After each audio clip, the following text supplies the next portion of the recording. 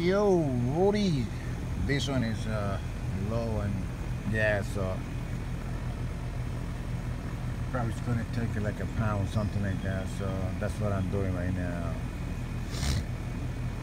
When I came over here, it was a 50 pound low side and 250 in the high side.